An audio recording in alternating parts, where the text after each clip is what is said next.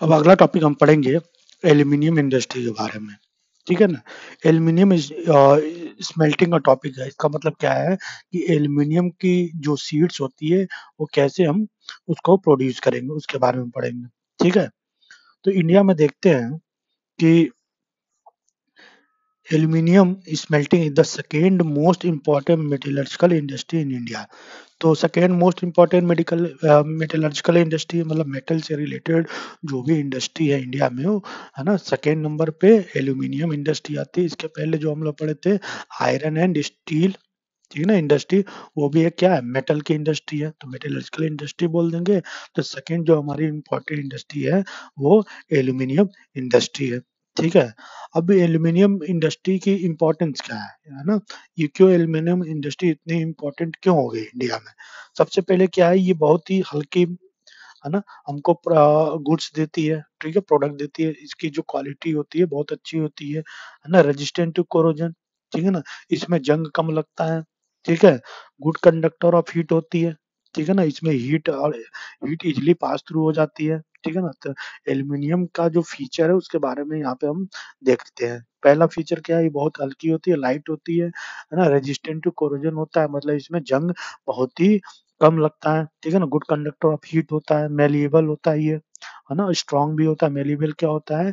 कि ऐसी चीज़ जिसको हम लोग सीट के फॉर्म में, है ना? मोल्ड कर सकते हैं, ठीक है ना? और ये दूसरे मेटल के साथ भी क्या होता है? रिएक्ट कर जाता है। ठीक है? अब इसका यूजेस कहाँ है? कौन कौन सी प्रोडक्ट हम बना सकते हैं एल्यूमिनियम इंडस्ट्री को यूज़ करके, ठीक है ना? कुछ हमारे पास, है ना एयरक्राफ्ट के पार्ट्स बना सकते हैं एल्यूमिनियम का यूज़ होता है, जो एरोप्लेन में जो आउटर बॉडी होती है आउटर कवरिंग होती है, उसका यूज़ है ना, कैसे बनता है? वो एल्यूमिनियम का यूज़ करके बनता है। कुछ बर्तन बना सकते हैं यूटेंसिल एंड वायर ठीक है ना? तो जो एल्यूमिनियम का यूज़ है, कहाँ कहाँ पे है? एयरक्राफ्ट यूटेंसिल एंड वायर ठीक है? और ये पॉपुलैरिटी का भी इसने गेन की, है ना? कहते हैं कि इसकी पॉपुलैरिटी है ना स्टील के सब्सिट्यूट में हो गई। कैसे? क्योंकि कॉपर और zinc and lead in a number of industry है ना? क्योंकि इसकी पॉपुलरिटी बढ़ गई, क्योंकि स्टील की जगह हम एल्यूमिनियम का यूज़ कर सकते हैं कॉपर की यूज़ कर सकते हैं, क्योंकि ये बहुत लाइट होती है और रेजिस्टेंट जो कोरोजन होती है गुड कंडक्टर ऑफ़ हीट होती है और इसकी कॉस्ट भी इन सारी चीज़ों से कम आती है। ठीक है? तो इंडिया में कौन कौन से एरिया में एल्यूमिनियम स्मेल्टिंग प्लांट लोकेटेड होती होती है? है ना? जैसे कि कुछ एरियाज़ है उड़ीसा के, वेस्ट बंगाल, केरल। उत्तर प्रदेश, है ना? छत्तीसगढ़, महाराष्ट्र हो गया, तमिलनाडु हो गया, ये सारे रीजन क्या है? एल्यूमिनियम के लिए एल्यूमिनियम इंडस्ट्री के लिए बहुत ही अच्छी मानी जाती है। ठीक है?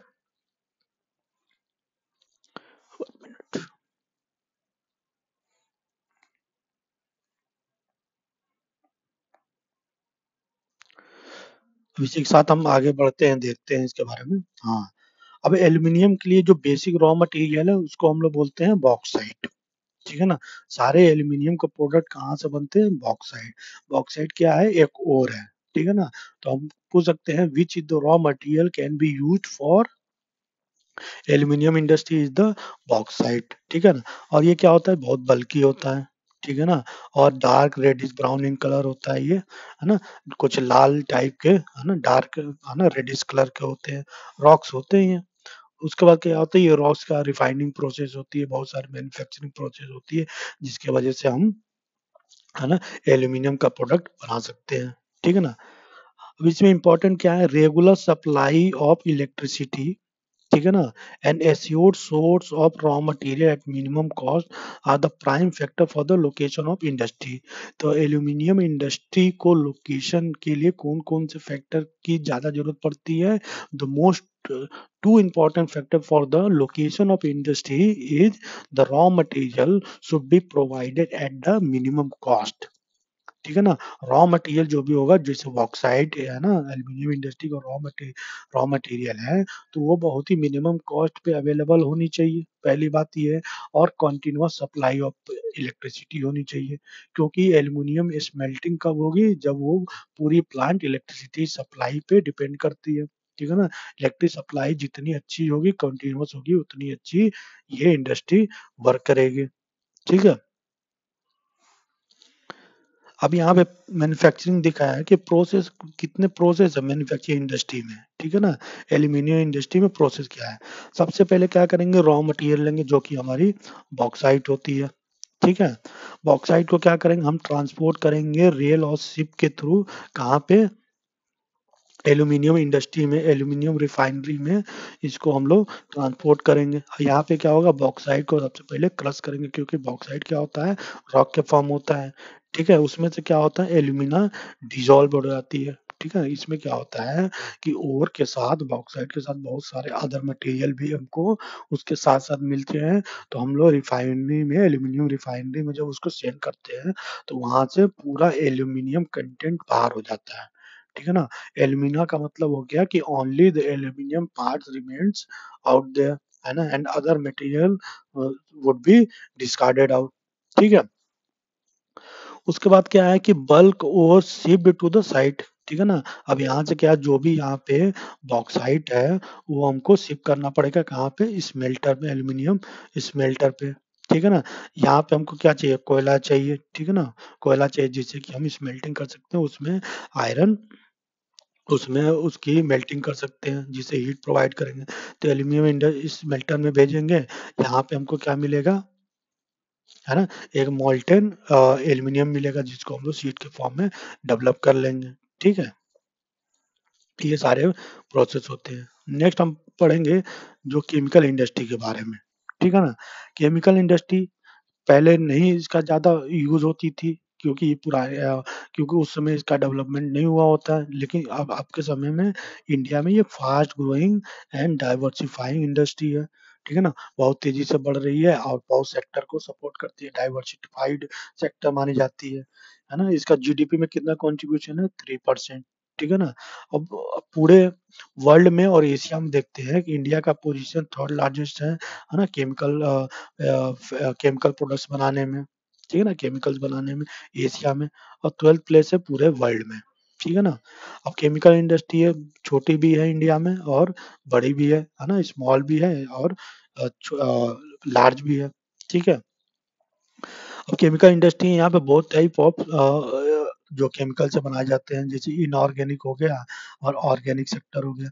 ऑर्गेनिक सेक्टर का मतलब ये है कि जो भी केमिकल्स हम डिराइव कर रहे हैं from living things and inorganic chemicals होते हैं, जो हम लोग डिराइव करते हैं फ्रॉम नॉन लिविंग थिंग जैसे एग्जांपल है इनऑर्गेनिक केमिकल्स का एग्ज़ाम्पल है हमारे पास सल्फ्यूरिक एसिड ठीक है ना? सल्फ्यूरिक एसिड का यूज़ करते हैं हम फर्टिलाइज़र बनाने में प्लास्टिक बनाने में, है ना? एडिसिव बनाने में पेंट बनाने में यूज़ करते हैं। ठीक है? नाइट्रिक एसिड होता है अल्कैली सोडा होता है, जिसमें हम लोग ग्लास सोप और डिटर्जेंट बनाते हैं, साबुन बनाते हैं सरफ बनाते हैं, इससे पेपर इंडस्ट्री को भी ये अपना रॉ मटेरियल सेंड करता है। ठीक है? Why do you think it is so because organic chemical जो होते हैं ना इंक्लूड द पेट्रोकेमिकल्स ठीक है ना?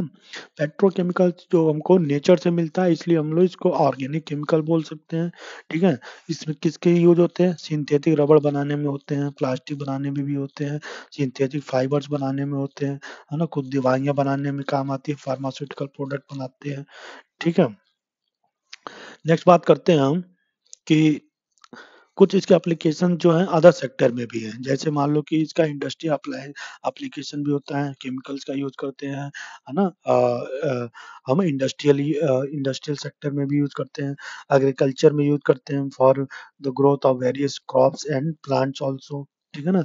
Directly use for the consumer market also जैसे टॉयलेट वॉयलेट साफ़ करना हो तो हमको केमिकल्स की ज़रूरत पड़ती है तो ये केमिकल्स हमको केमिकल इंडस्ट्री से मिल जाती है। Next important industry is the fertiliser industry है ना? फर्टिलाइज़र इंडस्ट्री इंडिया के लिए बहुत ही इंपॉर्टेंट इंडस्ट्री मानी जाती है क्योंकि 50 percent of the Indian population are directly involve in the production of agriculture product ठीक है ना? और एग्रीकल्चर प्रोडक्शन बढ़ाने के लिए हमको फर्टिलाइज़र की बहुत बड़ी ज़रूरत पड़ती है। ठीक है ना? लेकिन जो हमारी फैक्ट्री है ना, वो नाइट्रोजेनस फर्टिलाइज़र के अराउंड बेस है।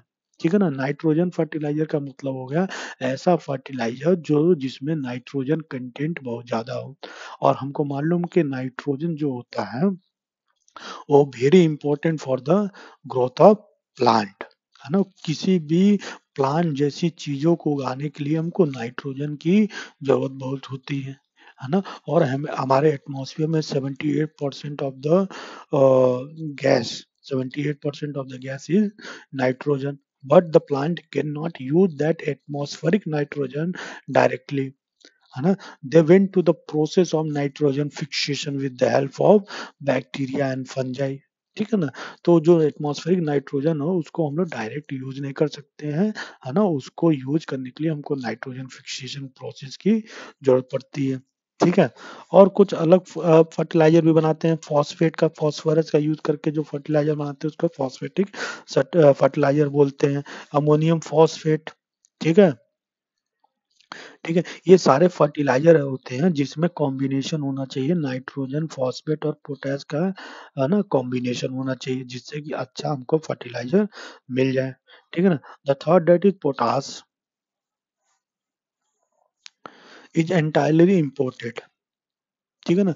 नाइट्रोजन और पोटेशियम जो है, वो हमको अपने इंडिया में अच्छे से मतलब अच्छा क्वांटिटी में मिल जाती है। लेकिन जो हमारा थर्ड है ना थर्ड रिक्वायरमेंट है, जो कि पोटास है, वो हमको एंटायरली हम लोग इम्पोर्ट इम्पोर्ट पर डिपेंड करते हैं। ठीक है ना? India is the third largest producer of the nitrogen nitrogenous fertiliser ठीक है? क्यों? क्योंकि देखते हैं इंडिया में 40 57 फर्टिलाइज़र यूनिट्स है ना? Are manufacturing nitrogenous and the complex nitrogenous fertiliser ठीक है ना? 57 जो है, हमारे पास जो प्लांट है फर्टिलाइज़र फैक्ट्री ऑफ़ 57 क्या है?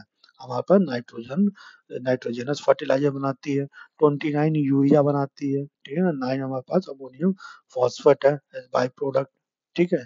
जो मेजर कोऑपरेटिव सेक्टर है, जो इस फर्टिलाइज़र इंडस्ट्री में काम करती है, वो हमारा क्या है? है ना? अजारिया में, गुजरात में इस्टेब्लिश्ड है, ठीक है? Under the fertiliser corporation of India ठीक है? अब देखते हैं ग्रीन रिवोल्यूशन हरित क्रांति के बाद, है ना? ये जो केमिकल इंडस्ट्री है, उसने पूरे अदर पार्ट्स में भी एक्सपेंड किया, है ना? एग्जांपल जैसे गुजरात, तमिलनाडु, उत्तर प्रदेश, पंजाब में सारे कंट्री के अदर पार्ट्स में भी एक्सपेंड किया, ठीक है?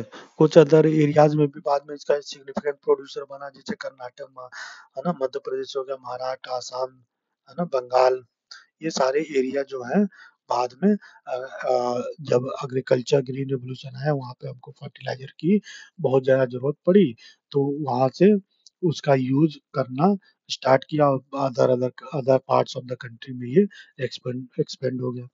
नेक्स्ट बात करते हैं केमिकल इंडस्ट्री की सीमेंट इंडस्ट्री। सीमेंट इंडस्ट्री एक ऐसा इंडस्ट्री है जो कंस्ट्रक्शन एक्टिविटी को बहुत ज़्यादा सपोर्ट करता है। कंस्ट्रक्शन चाहे वो कंस्ट्रक्शन बिल्डिंग बनाने में हो बिल्डिंग हाउस घर बनाने में हो फैक्ट्री बनाने में हो, है ना? ब्रिज बनाने में हो रोड्स रेलवे है ना? Airport dams and other establishment जितने भी कंस्ट्रक्शन एक्टिविटी है, उसमें सीमेंट का बहुत ज़्यादा कंट्रीब्यूशन है है ना? और है ना, जिस इंडस्ट्री मतलब सीमेंट इंडस्ट्री जो रॉ मटेरियल चाहिए उसको बहुत, बल्कि बहुत बड़ा और हैवी होता है है ना? जैसे कि हमारे पास लाइम स्टोन होती है, पत्थर से पत्थर को हम लोग क्या करते हैं? कैल्शियम कार्बोनेट का जो पूरा लाइम स्टोन होता है, पत्थर होता है, उसको हम लोग क्रश करते हैं, वहाँ से हमको, है ना? सीमेंट प्रोड्यूस होता है, ठीक है ना? सिलिका हो गया एल्यूमिनियम हो गया जिप्सन हो गया, ये क्या है? सारे रॉ मटेरियल है सीमेंट इंडस्ट्री के लिए। ठीक है? और हमको क्या चाहिए? कोयला चाहिए और इलेक्ट्रिक पावर चाहिए, ठीक है ना?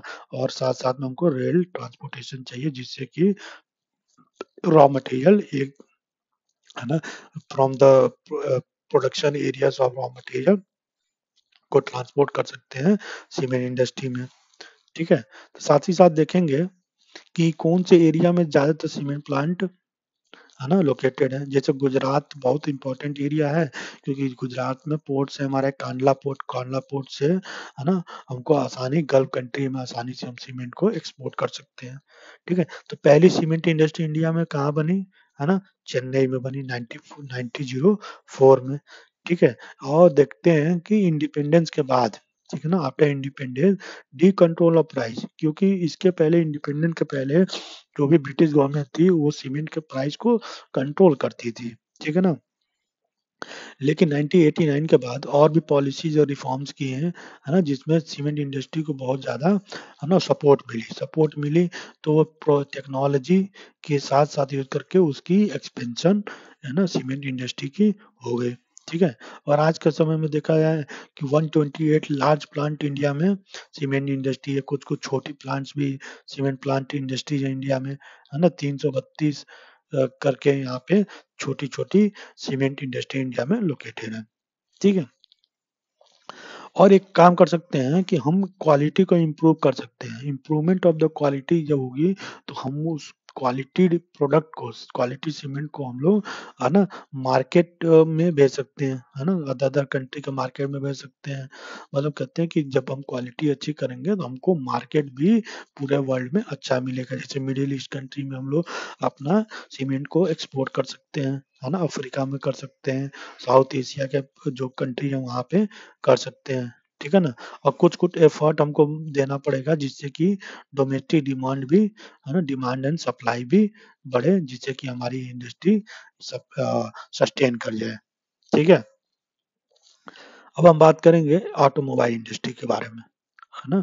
ऑटोमोबाइल इंडस्ट्री तो आप लोग जानते हैं, या ऑटोमोबाइल इंडस्ट्री है वो हमको प्रोवाइड करती है व्हीकल्स व्हीकल्स किसके लिए ज़रूरत है है ना? व्हीकल इसलिए ज़रूरत है कि हमको, है ना ट्रांसपोर्ट जो भी गुड्स एंड सर्विसेज़ है उसको ट्रांसपोर्ट करने में, है ना, बहुत ही महत्वपूर्ण भूमिका निभाती है। ठीक है? इजीली हम एक दूसरे से, एक जगह से दूसरे जगह, है ना सामान को ट्रांसपोर्ट कर सकते हैं प्रोडक्ट को ट्रांसपोर्ट कर सकते हैं और साथ साथ पैसेंजर को, लोगों को भी एक जगह से दूसरे जगह पहुँचा सकते हैं।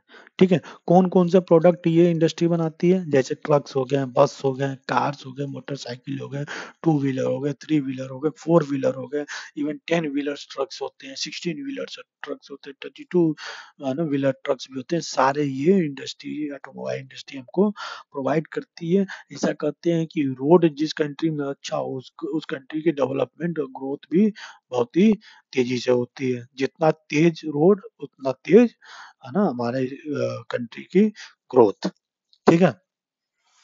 1992 में जब हमारी इकोनॉमी का लिबरलाइजेशन हो गया, है ना एलपीजी रिफॉर्म्स आया, है ना लिबरलाइजेशन प्राइवेटाइजेशन और ग्लोबलाइजेशन के बाद, ठीक है, बहुत सारे इंडस्ट्री में हमारी demand for vehicles in the market stimulate हुई, है ना, उसका ग्रोथ बढ़ा, है ना, क्यों बढ़ा? क्योंकि है ना? क्योंकि including the passenger car two two wheeler three wheeler सारे इंडस्ट्री का ग्रोथ हुआ। जो भी है टू व्हीलर और थ्री व्हीलर फोर व्हीलर सबका हेल्दी ग्रोथ हुआ, ठीक है ना? क्योंकि लिबरलाइजेशन हो गया अलग अलग कंट्री लिबरल पॉलिसी बनाई गई, है ना? जो कि इंडस्ट्री को सपोर्ट करती थी, ठीक है ना? पंद्रह साल के दौरान देखते हैं लास्ट पंद्रह साल के दौरान में, है ना? बहुत ही ज़्यादा, है ना ग्रोथ हुई, है ना? ऑटोमोबाइल सेक्टर की, क्यों? क्योंकि डायरेक्ट इन्वेस्टमेंट भी, है ना, बाहर से आने लगा। Foreign direct investment F I बाहर से आई टेक्नोलॉजी आई। टेक्नोलॉजी ने बहुत ही ज़्यादा इस इंडस्ट्री को सपोर्ट किया। आज तो ऐसी टेक्नोलॉजी आ गई है इलेक्ट्रॉनिक व्हीकल्स की तरह मूव मूव कर रहे हैं ग्रीन फ्यूल की बात करने लगे हैं। ठीक है? एथेनॉल ब्लेंडिंग फ्यूल की भी बात करने लगे हैं, है ना इलेक्ट्रॉनिक व्हीकल्स की बात करने लगे हैं। ठीक है? सारे ये टेक्नोलॉजी ट्रांसफ़र की वजह से ये इंडस्ट्री की, है ना बूम करने लगी है ना ग्रोथ इसकी बढ़ गई है। ठीक है? ये इंपॉर्टेंट सेंटर हैं, जैसे दिल्ली, गुड़गांव, पुणे, चेन्नई, कलकत्ता, लखनऊ, इंदौर, ये सारे जो रीजन हैं, जो ऑटोमोबाइल सेक्टर के लिए बहुत ही ज़्यादा इम्पोर्टेंट एरिया है, क्योंकि यहाँ से अच्छी खासी मार्केट इस इंडस्ट्री को मिल जाती है, जहाँ पे वो अपनी प्रोडक्ट आराम से सेल कर सकता है। ठीक है? ये सारे देखिए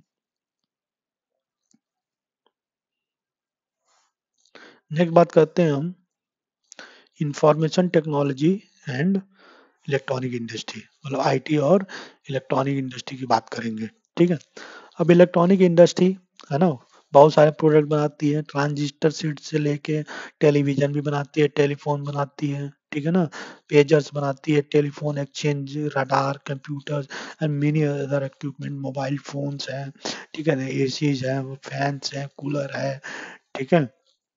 बहुत सारी प्रोडक्ट हमको इलेक्ट्रॉनिक इंडस्ट्री आजकल के टाइम में प्रोवाइड करती है। मेन इंपॉर्टेंट सेंटर जो है, जिसको इलेक्ट्रॉनिक कैपिटल ऑफ़ इंडिया भी बोल देते हैं, है ना, वो कौन सा है? बैंगलोर ठीक है ना? बैंगलोर ऐसी सिटी है इंडिया के अंदर, जहाँ पे इलेक्ट्रॉनिक सेक्टर और आईटी सेक्टर का बहुत ही ज़्यादा ग्रोथ देखने को मिला है, इसलिए इसको हम लोग इलेक्ट्रॉनिक कैपिटल ऑफ़ इंडिया कह सकते हैं, ठीक है? कुछ और सेंटर्स हैं जो इलेक्ट्रॉनिक गुड्स के लिए इम्पोर्टेंट है, मुंबई, दिल्ली, है ना, जो भी इंडिया की लार्ज ना, बड़ी सिटी है, Lucknow, Kolkata Coimbatore these are the important centre for the industry electronic industry ठीक है? 2010 और 11 में देखते हैं सॉफ्टवेयर टेक्नोलॉजी पार्क है ना in, of India has come across 46 locations of different center of India. ठीक है ना? तो इंडिया 2010-11 में, है ना? सॉफ्टवेयर टेक्नोलॉजी पार्क को डेवलप किया, है ना? अलग अलग लोकेशंस में 46 लोकेशंस है है ना? ज़्यादातर लोकेशन वो, जो इम्पोर्टेंट सिटीज़ इंडिया को, वही लोकेशन चूज़ किया जैसे कि बैंगलोर नोएडा मुंबई चेन्नई एंड हैदराबाद एंड पुणे है ना? A major impact of this industry has been on the employment generation ठीक है? अब ये इंडस्ट्री का सबसे अच्छी बात ये है कि ये इंडस्ट्री बहुत ही ज़्यादा, है ना एम्प्लॉयमेंट जनरेशन इंडस्ट्री है। बहुत ज़्यादा एम्प्लॉयमेंट लोगों को प्रोवाइड करती है। ये भी देखने को मिला कि thirty percent of the people in in this industry are womens है ना? लगभग वुमेन्स को भी बहुत ही ज़्यादा ये इंडस्ट्री सपोर्ट करती है। थर्टी परसेंट एम्प्लॉयमेंट इसमें क्या है? वुमेन्स का कॉन्ट्रीब्यूशन है। ठीक है? और ये इंडस्ट्री जो है ना बिज़नेस प्रोसेसिंग आउटसोर्सिंग को भी बहुत ज़्यादा बढ़ावा देती है। बिज़नेस प्रोसेसिंग आउटसोर्सिंग का मतलब हो गया है कि जैसे कि एक कार हम बनाते हैं कार्स में बहुत सारे प्रोडक्ट्स यूज़ होते हैं पार्ट्स यूज़ होते हैं तो कुछ पार्ट्स ये बाहर के, है ना इंडस्ट्री से भी आउटसोर्स करती है। ठीक है ना?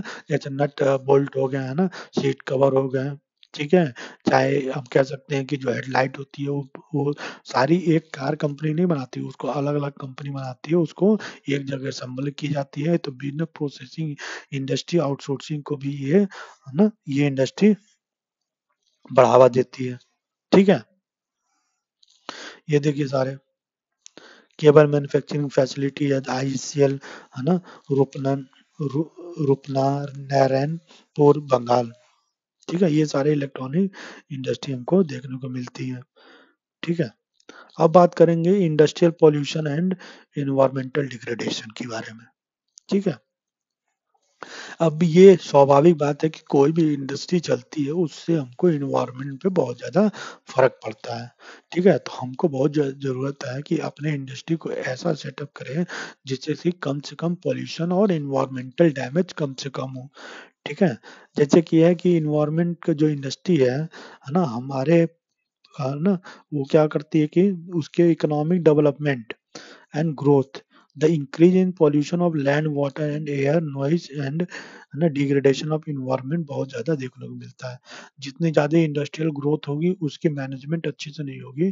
तो हमको लैंड पॉल्यूशन एयर पॉल्यूशन है ना नॉइज़ पॉल्यूशन वाटर पॉल्यूशन या ना, और इन्वायरमेंटल डैमेज देखने को मिलता है। Industry are responsible for four types of pollution यहाँ पे हम देख लेते हैं, कुछ हमारे पास जो इंडस्ट्रियल रीजन है इंडिया के सॉफ्टवेयर टेक्नोलॉजी पार्क है। श्रीनगर में, है ना, यहाँ पे इंडस्ट्री बनाई गई जो लोकेशन चूज़ की गई थी, उस लोकेशन में, है ना, हिमाचल प्रदेश की मोहाली आती है यूपी का नोएडा आता है, राजस्थान का जयपुर आता है, गुजरात का गांधीनगर है ना? मध्य प्रदेश का इंदौर आ गया, महाराष्ट्र का Mumbai and Pune Bangalore and Mysuru region of Karnataka Visakhapatnam of Andhra Pradesh, Hyderabad of Telangana, है ना? चेन्नई ऑफ़ तमिलनाडु, है ना? Bhubaneswar of Orissa Calcutta of West Bengal, Guwahati of Assam. ये सारे एरिया जो है सॉफ्टवेयर टेक्नोलॉजी पार्क के लिए बहुत ही ज़्यादा इम्पोर्टेंट है।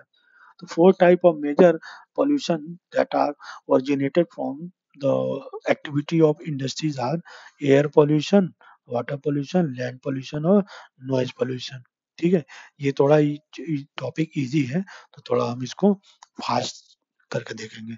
एयर पोल्यूशन क्या होती है? जो हमारे एटमोसफियर में अनडिजायरेबल गैस होते हैं है ना? जिसके मतलब अनडिजायर हमको उस, उस गैसेस की ज़रूरत नहीं होती है उसको हम लोग क्या बोलते हैं है ना? अनडिजायरेबल गैसेस तो हम कह सकते हैं the unwanted gas in the atmosphere है ना? Is called and that can lead to the air pollution जैसे सल्फ़र डाइऑक्साइड है कार्बन मोनोऑक्साइड है कार्बन डाइऑक्साइड है, ठीक है? अब यहाँ पे देखेंगे कि एयर पोल्यूशन कैसे होता है, ठीक है? जैसे केमिकल इंडस्ट्री से बहुत सारे धुआँ निकलते smoke smoke by the chemical and the paper industry है ना? जो ईटे बनाती है ब्रिक्स होती हैं रिफाइनरी से जो भी हार्मफुल गैसेस निकलते हैं, वो हमारे एयर पोल्यूशन को कंट्रीब्यूट करते हैं, ठीक है? बर्निंग ऑफ़ फॉजल फ्यूल्स ठीक है in big and small factories है ना?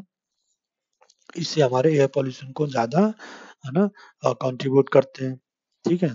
इसके वजह से हमारे एक जो गैस लीक होने से हमारे, है ना, भोपाल गैस ट्रेजिडी हो गई थी, जिससे बहुत सारे लोग मरे थे। वहाँ पे गैस है ना लीक कर गई थी। उस गैस उस गैस का नाम मिथाइल आइसोसाइनाइड है।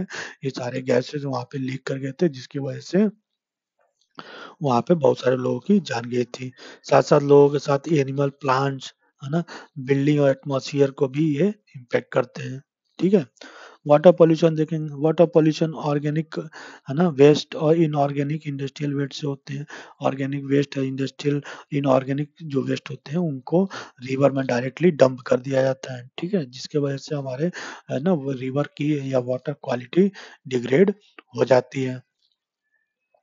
ठीक है? और भी सारी इंडस्ट्री जैसे पेपर इंडस्ट्री है केमिकल इंडस्ट्री हो गई, ठीक है ना? इलेक्ट्रोप्लेटिंग इंडस्ट्री हो गई, है ना? टैनरीज हो गई, ये सारे जो इंडस्ट्री है, वो वाटर पोल्यूशन में बहुत ज़्यादा कंट्रीब्यूट करती है, ठीक है?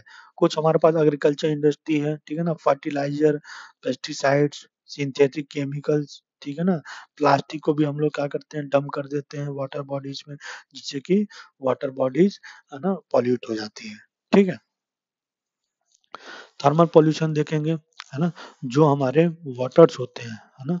जो हॉट वाटर फैक्ट्रीज में होती है है ना? क्या होता है कि जब हम इंडस्ट्री में होते हैं, वहाँ पे हमको बहुत सारे स्टीम की ज़रूरत पड़ती है, वो एनर्जी जनरेट करने करने के लिए। तो वो जो पॉल्यूटेड वाटर होते हैं हॉट वाटर होते हैं इंडस्ट्री से डायरेक्ट हम लोग वाटर बॉडीज में डंप कर देते हैं रिवर्स में डंप कर देते हैं, है ना? जो पोखरे होते हैं छोटे छोटे तालाब होते हैं, उसमें हम लोग ये सारे, है ना? जो कंटामिनेटेड वाटर है, उसको डंप कर देते हैं, जिसके वजह से एक्वेटिक लाइफ पे भी डैमेज पड़ता है।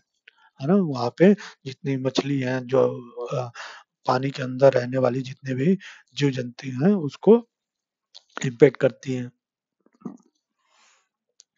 Waste waste from nuclear power plant nuclear weapon production facility causes cancer ठीक है ना? थर्म बर्थ डिफेक्ट एंड मिसकैरेज ठीक है अब क्या होता है कि जो भी न्यूक्लियर पावर प्लांट से जो भी रेडिएशन निकलते हैं है ना तो उससे क्या होता है कैंसर होने का बहुत ज़्यादा प्रॉब्लम होता है। बर्थ डिफेक्ट आ जाती है जो बच्चे पैदा होते हैं जो बच्चे न्यू बॉर्न बेबी होते हैं उसमें कुछ डिफॉर्मिटी आती है किसी के हाथ अ, नहीं होते हैं किसी के पैर नहीं होते किसी को कुछ ना कुछ बीमारियाँ हो जाती है इन रेडिएशन से एक्सपोजर में ठीक है ना। कुछ dumping of waste specially glass harmful chemicals, industrial effluent, packaging, salt, garbage render the soil useless. कुछ क्या होता है कि जो जो भी हमारे पास है ना अनवांटेड सॉलिड वेस्ट है उसको हम लोग डायरेक्ट डंप कर देते हैं सॉइल पे, जिसकी वजह से सॉइल की क्वालिटी खराब हो जाती है और उसमें जो वाटर है ना वाटर्स हैं, है ना वाटर जो होते हैं, जो कंटेमिनेटेड वाटर रहते हैं, वो डायरेक्टली ज़मीन के अंदर ग्राउंड के अंदर क्या होते हैं परकुलेट कर जाते हैं, जिससे कि हमारे ग्राउंड वाटर को भी वो कंटेमिनेट कर देते हैं। ठीक है? नॉइज़ पोल्यूशन को कह सकते हैं। The unwanted noise present in the atmosphere is known as noise pollution क्या करता है, ये बहुत ज़्यादा ये है ना लोगों के अंदर इरिटेशन प्रोवाइड करता है एंगर एंगर जनरेट करता है, गुस्से में लोगों को रहता है, कान इम्पेयरमेंट हो सकते हैं, कान बहरा आदमी हो सकता है है ना हार्ट रेट को इंक्रीज करता है ब्लड प्रेशर को भी ये, है ना, बढ़ाता है और साइकोलॉजिकल इफ़ेक्ट भी है इसके, ठीक है ना कौन कौन से एक्टिविटी है, जैसे इंडस्ट्रियल और कंस्ट्रक्शन एक्टिविटी जो होते हैं, उससे ज़्यादा, बहुत ज़्यादा नॉइस होता है और लोगों को बहुत ज़्यादा इन सब चीज़ों से प्रॉब्लम होती है। ठीक है? अब यहाँ पे देखेंगे इन्वायरमेंटल डिग्रेडेशन को कैसे बचा सकते हैं, उसका कंट्रोल कैसे कर सकते हैं। ठीक है? मिनिमम यूज़ ऑफ़ वाटर करेंगे, ठीक है? उसकी रिसाइकलिंग भी करेंगे, ठीक है ना? कुछ स्टेजों में। है ना? जो भी हमारे पॉल्यूटेड वाटर है, है ना? उसको हम लोग रिसाइक्लिंग करेंगे और बहुत ही कम-कम वाटर यूज़ करेंगे। रेन वाटर हार्वेस्टिंग भी कर सकते हैं, है ना? पानी को टैंक बना के पानी को हम लोग बचा भी सकते हैं, ठीक है ना? Treating hot water in the effluent before releasing into the rivers, है ना? रिवर में रिवर में डिस्चार्ज करने से पहले हम उस जो हॉट वाटर है ना, हॉट वाटर है जो कंटामिनेटेड वाटर है उसका अच्छे से हम ट्रीटमेंट करेंगे, उससे हम क्या करेंगे उसको रिसाइकिल करेंगे, रीयूज़ करेंगे, उसको अच्छे से है ना ट्रीटमेंट करेंगे before discharging into the rivers. कुछ 3 प 3 फ़ेज़ में हम उसका ट्रीटमेंट कर सकते हैं before discharging into the rivers. पहला क्या है, है ना? Primary treatment, second secondary treatment, third is the tertiary treatment. पहला क्या है, मैकेनिकल मीन से करेंगे, जो भी हमारे पास वेस्ट मटेरियल है, उसको हम लोग ग्राइंड करेंगे, स्क्रीनिंग करेंगे उसका, है ना? सेडिमेंटेशन करेंगे, ठीक है? सेडिमेंटेशन का क्या मतलब हो गया कि उसको जो भी चीज़ें हैं उसको हम लोग लैंड लैंडफ़िल करेंगे, ज़मीन के अंदर गाड़ सकते हैं, ठीक है? तो हम उसका पहले प्राइमरी ट्री ट्रीटमेंट करेंगे, है ना? मैकेनिकल मीन से। सेकंड बायोलॉजिकल मीन से करेंगे, ठीक है? थर्ड क्या करेंगे केमिकल फ़िज़िकल प्रोसेस का यूज़ करके उसको उस वेस्ट वाटर का रिसाइक्लिंग करेंगे जिसकी वजह से उसमें जो हार्मफुल कंटेंट है वो रिड्यूस हो जाएगा, ठीक है? और क्या करेंगे? Over drawing of ground water reserve by industry, है ना? There is a threat for ground water resources, ठीक है? जो जो ओवर ओवरड्राइंग करते हैं, ज़्यादा से ज़्यादा हम लोग अंडरग्राउंड वाटर का यूज़ करते हैं, उसके वजह से क्या होता है कि हमारे ग्राउंड वाटर टेबल जो होती है वो कम हो जाती है और ग्राउंड वाटर को बहुत ज़्यादा, है ना? प्रॉब्लम फेस करने को मिलता है, ठीक है? इसीलिए करेंगे कि जो ग्राउंड वाटर है जितना हम ओवरड्राइंग ग्राउंड वाटर कर रहे हैं, उसका रेगुलेट हमको रेगुलरली करना पड़ेगा, ठीक है? जो पर्टिकुलर मैटर है जो कि एयर में हम लोग डिस्चार्ज करते हैं, जो हार्मफुल गैसेज़ हैं उसको हमको रिड्यूस करना पड़ेगा। कैसे रिड्यूस करेंगे? हम यहाँ पे स्मोक स्टेक लगा देंगे फैक्ट्री में, ठीक है ना? इलेक्ट्रोस्टैटिक प्रेसिपिटेशन लग लगा देंगे, ठीक है? फिटर लगा देंगे, स्क्रबर लगा देंगे, है ना? इनर्शियल सेपरेटर लगा देंगे, ठीक है? इससे क्या होगा जो भी हमारे हार्मफुल गैसेज़ हैं उसको ये ऑब्ज़र्व कर लेगी और जो भी हार्मफुल गैसेज़ है एटमॉस्फेयर में कम रिलीज़ होगी, ठीक है? हमको कुछ नॉइज़ ऑब्ज़र्विंग मटेरियल लगाने पड़ेंगे, ठीक है ना? जैसे पर्सनल यूज़ में ईयर प्लग या ईयरफ़ोन का यूज़ कर सकते हैं जिससे कि नॉइज़ कम प्रोड्यूस हो, ठीक है? जैसे ये देखें ना वाटर पॉल्यूशन को कंट्रोल करने के पहले हम यमुना रिवर पे एक सीवेज ट्रीटमेंट प्लांट लगाए हैं जिससे कि हम लोग वाटर का ट्रीटमेंट कर सकते हैं before discharging into the water. ठीक है? अब ऐसे कुछ एग्ज़ाम्पल हैं जो जिसने ये साबित किया है कि हम ट्रीटमेंट कर सकते हैं, ठीक है? जैसे एनटीपीसी है National Thermal Power Corporation of India, है ना? जिसको आईएसओ इंडियन स्टैंडर्ड ऑर्गेनाइजेशन से सर्टिफ़िकेशन मिला है, कौन-सा सर्टिफ़िकेशन? एनवायरमेंटल मैनेजमेंट सिस्टम 414001 ठीक है? इन्वायरमेंटल मैनेजमेंट सिस्टम इन्वायरमेंट को मैनेज करने का जो सिस्टम है उसमें इसको एक सर्टिफ़िकेशन मिला हुआ है। आईएसओ से, ठीक है? कि क्यों मिला है? है ना? क्यों मिला है इनको? क्योंकि इन्होंने है ना optimum utilisation of equipment, adopting latest technology and upgrading है ना एक्जिस्टिंग इक्विपमेंट। जो भी ये थर्मल पावर प्लांट में जो भी इक्विपमेंट लगाए गए हैं, उसका ये ऑप्टिमम यूटिलाइज़ेशन करते हैं, ना? उसका बहुत ज़्यादा रिपेयरिंग और मेंटेनेंस करते हैं जिससे वजह से पॉल्यूशन होने का कम चांस होता है, ठीक है ना? Minimising waste generation by maximising ये ऐश यूटिलाइज़ेशन इन्होंने वेस्ट जनरेशन जो होती है ना, जो भी राख है ना, ऐशेज़ प्रोड्यूस होती है नेशनल थर्मल पावर है ना, थर्मल पावर प्लांट से उसको इन्होंने उस एस को है ना यूटिलाइज़ किया। जैसे एस का यूटिलाइज़ेशन बहुत सारे है ना कंस्ट्रक्शन एक्टिविटी में आजकल किए जाते हैं, ठीक है ना? इन्होंने बहुत सारे पेड़ लगाए, एफ़ॉरेस्टेशन किया जिसकी वजह से क्या हुआ कि अब एनवायरमेंटल डैमेज को इन्होंने कंट्रोल किया, ठीक है? Reducing environmental pollution through ash pond management, ash water recycling अब जो भी वाटर होती है ना जिसमें एस कंटेंट मिला होता है, उसकी रिसाइकलिंग की, है ना? लिक्विड वेस्ट का मैनेजमेंट किया, ये सारे मैनेजमेंट ट्रीटमेंट सिस्टम हमारे एनटीपीसी पावर प्लांट में ऑलरेडी है ना ये है ना ऑलरेडी इंक्लूडेड है, ठीक है? Ecological monitoring review and online database management for all its power station ठीक है? हम लोग इन्वायरमेंट का मॉनिटरिंग कर सकते हैं, उसका रिव्यू कर सकते हैं, उसका एक डेटा बना सकते हैं, जिससे कि हमको एक एग्जांपल सेट करने को मिलेगा कि इस इस इन्वायरमेंटल डैमेज को हम कंट्रोल कर सकते हैं okay next lecture we will going for the study of line lifeline of you know, national economy for today. That's all. Thank you.